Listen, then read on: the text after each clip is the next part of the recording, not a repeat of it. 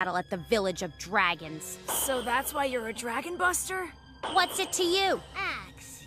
Wow, she's such a kid. So what if I'm a kid? Go right ahead.